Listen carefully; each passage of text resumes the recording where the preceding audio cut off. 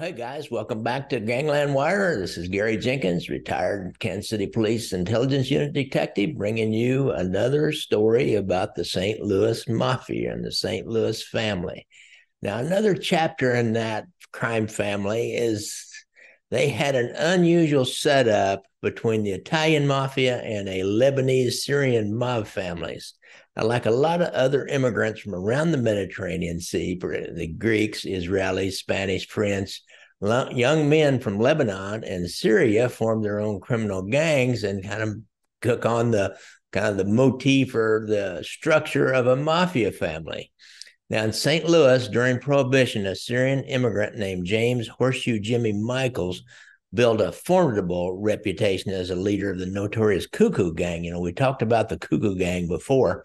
Uh, he will remain the Syrian godfather for more than 30 years.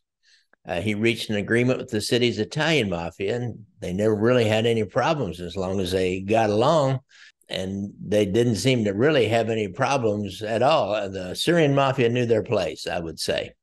Now, when the St. Louis Mafia Don Anthony Tony G. Giordano died after a bout with cancer in late summer of 1980, our friend Horseshoe Jimmy's Michael's enemies, uh, particularly the Leisure family, which were half Syrian, half Lebanese, I believe, and they had a boss who was who was uh, gung ho. He was ambitious. Name was Paul Paulie Leisure he had brother Anthony and first cousin David, and they all got ambitious. They had other extended family members of this Leisure family, and and and they really blamed Horseshoe Jimmy Michaels for, for not retaliating for one of the murders of one of their brothers years earlier. It kind of sounds like the Spero Civella operation here in Kansas City. That that that Civella Spero war that we had.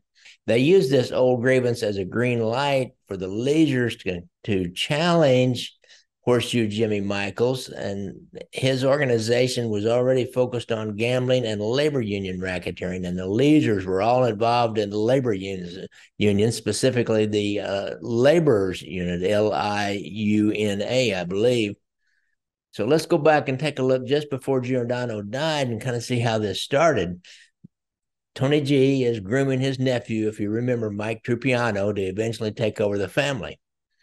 And any intermob war like this has to deal with the Italian mafia. The Italian mafia, you know, they're supposed to keep peace among the other criminals. Now, in this case, they had a hard time doing it.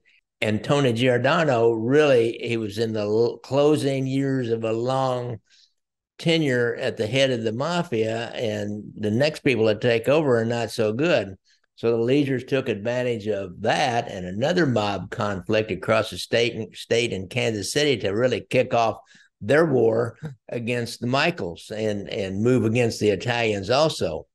Tony Giordano had installed an underling named John Spica as a union officer in the Laborers Union Local 42, the LIUNA. Now, the LIUNA has three locals in St. Louis, and the Italians control one, and the different factions of the Syrians controlled the other two, but they all got along. John Spica was a longtime professional criminal, and he was no stranger to murder. At age 25, he was charged uh, back in 1962 for arranging the contract killing of a husband whose wife wanted him dead. Now, this murder was pretty sensational in uh, St. Louis mob history because the man's wife was arrested and she implicated this young mob associate, John Spica, as the killer. She claimed she had tried unsuccessfully to cancel this contract, uh, didn't get it done. A jury would acquit her, but they convicted Spica for the murder of this woman's husband and gave him life in prison. Now, he did some time. This was Missouri back in the 60s, and he, he did some time and you know he got out. We had a lot of guys that got out pretty early through some political contacts we had at the state level back in those days. During his time in missouri state prison he of all things befriended james earl ray the murderer of dr martin luther king. Now later on during the uh, big investigation that surrounded the aftermath of the murder of dr martin luther king the fbi developed some information that the contract to kill king was let out by John Spica, or he had something to do with it, but, but he denied any connection to this horrible event, and I think they really couldn't prove it. And I, I doubt if they did it. I don't know why he would even care that much about that. Now, during his time in the Missouri State Penitentiary system, he developed a really close friendship with a young Missouri Italian mafia associate Carl was a young upstart Kansas City gangster, a lifetime gangster. He really never did anything other than be a gangster after he got out of high school.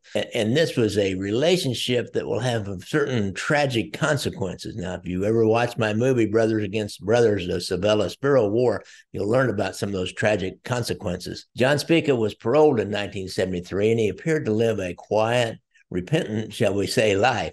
He opened a produce stand, of course, a produce stand in South St. Louis, and he worked every day during the summer. Uh, he was a soft smoking gentleman. And he was known as a shrewd businessman. Just a little dis- more description about John Spica. He liked stylish clothes and expensive, flashy cars. He worked out regularly. He looked. He always wanted to look good but he led a double life and that low profile he maintained concealed a different man. He was really a rising star in the mafia in st louis. Uh, tony g. Giordano had taken a liking to him and started grooming him for bigger and better things. Uh, he was also grooming his nephew Mike Trupiano to be the next boss, but Spica was being brought in probably to take care of the business uh, while Trupiano was like the figurehead boss. But Spica hadn't been made yet. He was not uh, formally inducted in the mafia, but it was only considered a matter of time. In the meantime, he'd try to make his bones by being a really aggressive moneymaker.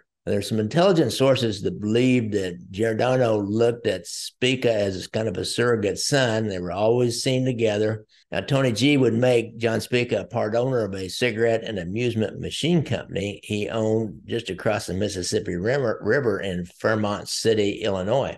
It was evidence of Giordano's trust in him and of Spica's increasing stature among the crime family. No other young hood had been given such an opportunity. Nobody else had been taken in by Giordano. He kind of remained aloof from a lot of the guys. Now, John Spica had a streak of recklessness in him, and at times he could be arrogant and rebellious, is what I've learned about him. During his early days when he's in the penitentiary, he attempted to muscle in on some of the narcotics traffic in there. Other convicts quickly put him straight and back in line. And I guess Carl Spero wasn't up down for that. Uh, there's probably a whole nother story there if a person could ever find it. 1979, John Spica made a pretty serious error, error of judgment. That was a sin of commission and not of omission. He put his loyalty to a friend above his subservience to the mafia, his prison buddy, Carl Spero.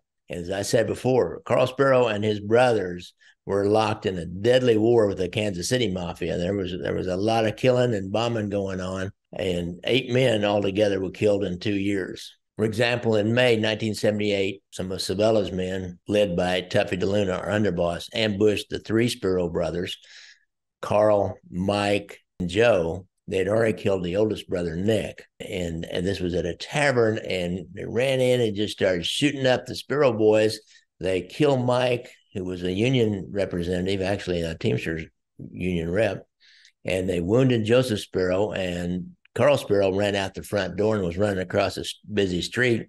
And one guy who they say was Tuffy DeLuna stepped out the front door and popped him with a shotgun with double aught buck and paralyzed him from the waist down. He never really, Carl never let that stop him. But again, go back and check my movie out on uh, Brothers Against Brothers, the Civella Spero War. This was a challenge that could not go unanswered in Kansas City. And the Spero brothers, the remaining two Spero brothers, Carl and Joe, escalated this warfare Carl got hold of Spica in St. Louis, said he needed some dynamite for this particular situation. Spica knew what it was. Spica happily obliged, and he transported a case of explosives to Kansas City. Now, one of the first intended victims of Spero's bombs was Carl Tuffy Luna. Agents of the ATF and the Kansas City Police Department ended up foiling this plot. Joe Spero will actually end up getting killed with another bomb. We think it's with, with some of this dynamite, maybe uh, that went off accidentally. We don't know for sure. I left Carl out there by himself running a used car lot. Still, he, he still he probably would like to move on the Civellas, but he's he's kind of a lone ranger. He's got few guys around him now.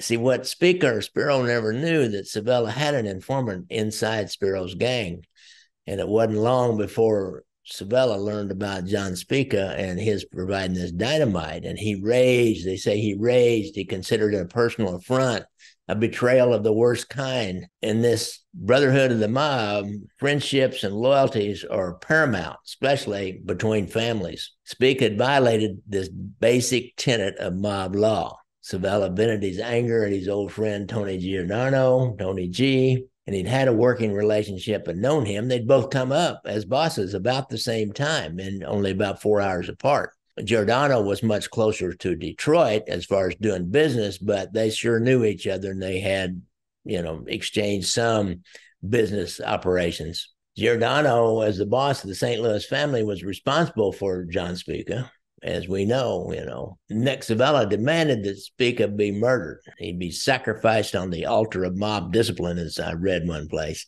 That can't be any other justice. He's got to go.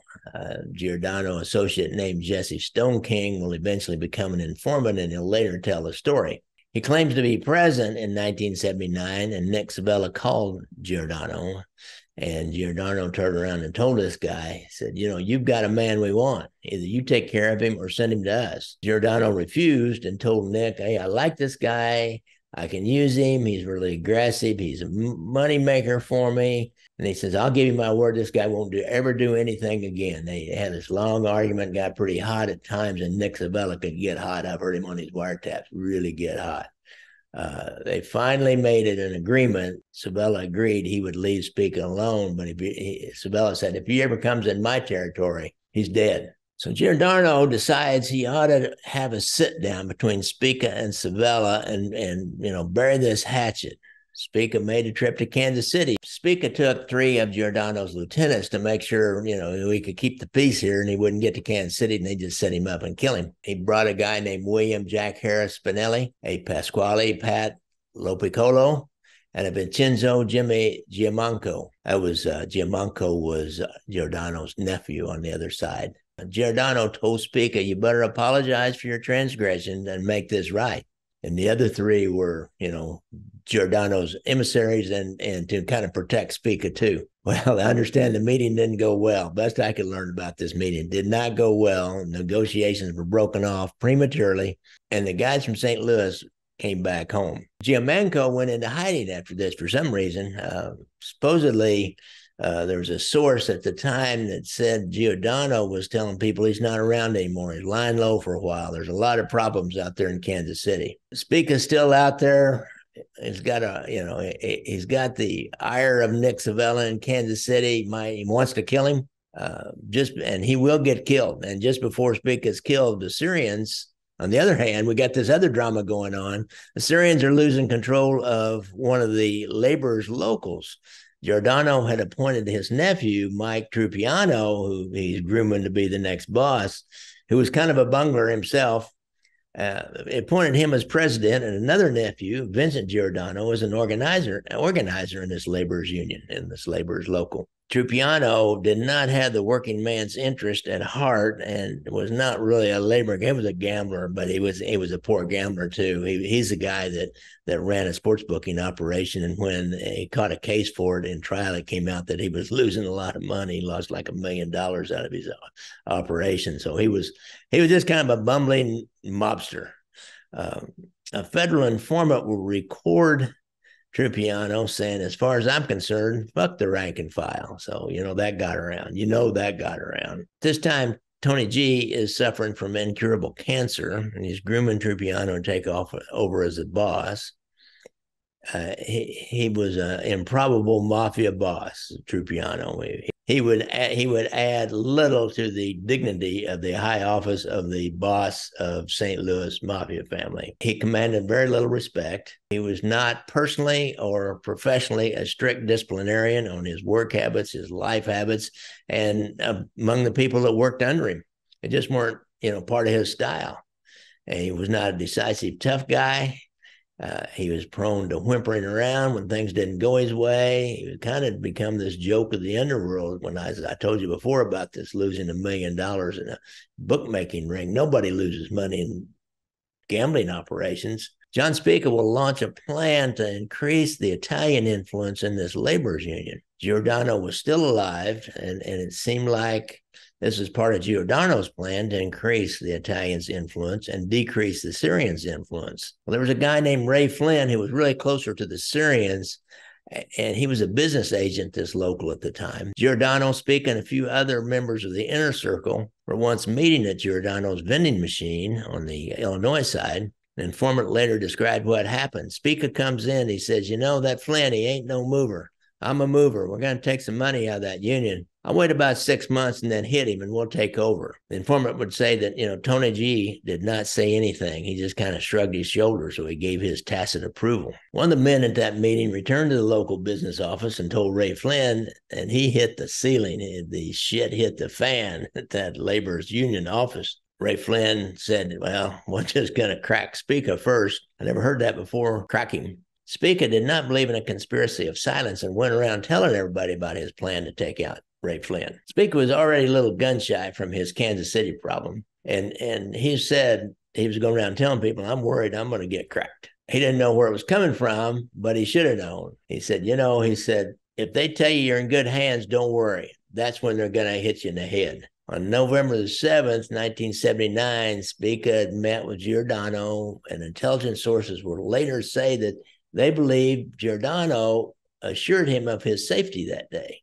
As he said, and they tell you you're okay, that's when you better start worrying. John, they called him Sonny Spica, the rash protege of the St. Louis outfit boss, Tony G, was a marked man. Nick Civella wanted him dead. Ray Flynn and the Syrians wanted him dead. The next day after that meeting with Tony G and being reassured, November 8th, 1979, John Spica is killed in a car bombing in his driveway. And he, you know, at that time, he was in this local 42 of the LIUNA, which right now, you know, everybody on the surface thinks, oh, this is Nick Civella's doing. They didn't know that it could be this Ray Flynn's doing. This will kick off the St. Louis really famous. If you're from St. Louis, you've heard of the Leisure Wars. They made headlines for the next several years and after 1979. I remember this. Uh, St. Louis underworld was pretty unique. It had three distinct but cohesive organized crime families. I'd mentioned this before. Most influential was the Italian mafia, controlled by Tony G. Giordano. The Syrian and Lebanese faction in South St. Louis was headed by Jimmy Michaels, and across the Mississippi River on the St. Louis, East St. Louis or the Illinois side, there was a man named Art Byrne that ruled a third outfit, and he was connected to the Syrians. And you know, Art Byrne was kind of interesting. He and Giordano both maintained a connection to the Chicago outfit, and and had you know their approval. Uh, the Syrians did not; they were all on their own. They all shared in all the different construction contracts. The most important were the laborers union locals 42, 52, and 110 in St. Louis. This was, uh, you know, this is really a source of big money for the mob. You know, you can shake down the people that hire laborers, you can shake down the, the laborers themselves, you can start a pension fund and and draw money out of that, or like the Teamsters loan money out and then get connections, get you know kickbacks from that, and and it's just a lot of influence and power. And these three locals were really influential and powerful in St. Louis. Plus, you get a lot of political power out of Union Base. Well, Paul Paulie Leisure was a Syrian who was a also a suspected contract killer, and he had this small, dissident but deadly group of gangsters, and, and mainly they were relatives, which is better if you got relatives, as we all know. Even mob guys know that. He'd once been close to Giordano's and and Michaels, Horseshoe Jimmy Michaels, and but he had, you know, he was ambitious and he grew to despise them. He coveted control of the St. Louis underworld. He saw himself taking over the whole St. Louis and the laborers locals was like the way to do it. That was just a stepping stone. He wanted bigger piece of the action. He wanted it all in the end. Giordano and Michael stood in his way. He's the guy that planted the bomb on his old union rival, rival John Spica knowing that the suspicion would fall on the Kansas City Mafia for a while. But as people talked, you know, people knew that John Spica had bragged about his intent to kill Ray Flynn, and he bragged about it to Paulie Leisure. Paulie Leisure knew that the Italians were moving to take over more of the power out of the three different laborers locals, and, and they wanted more and more.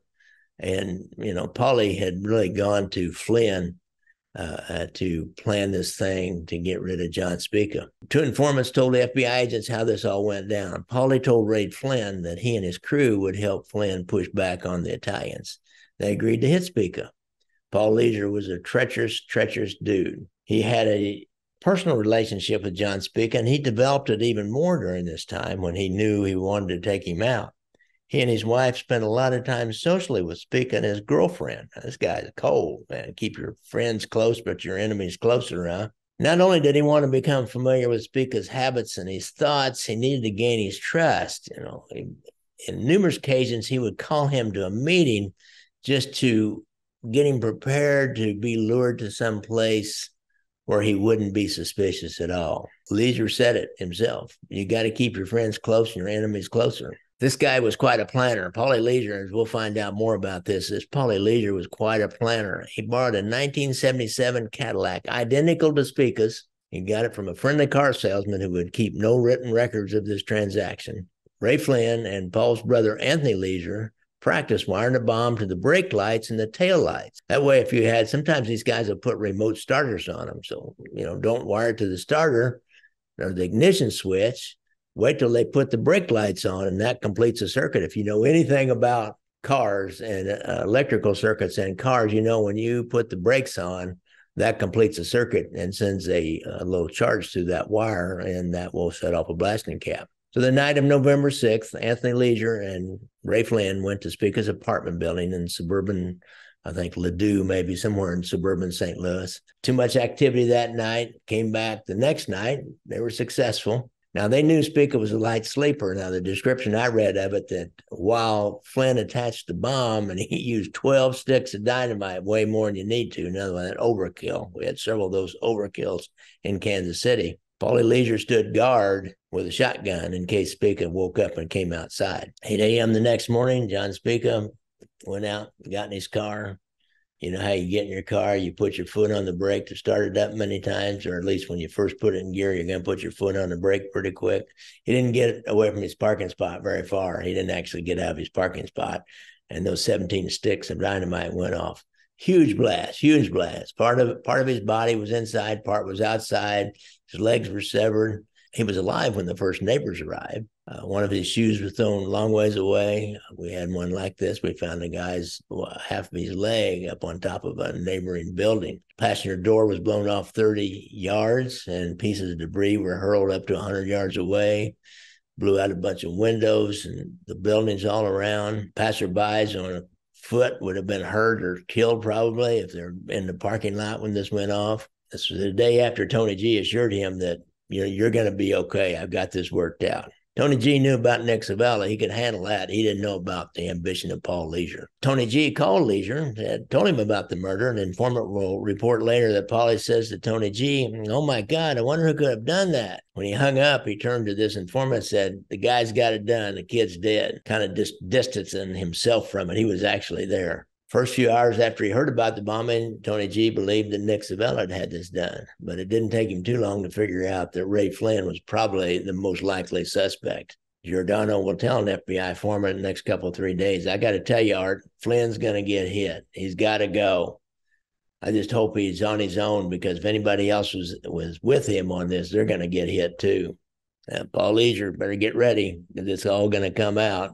Ray Flynn hired him some bodyguards, and he didn't go anywhere without those bodyguards. His alliance with the Leisure faction was sealed, and he did manage to stay alive all the way through this Leisure war. But it was, it, it got bloody.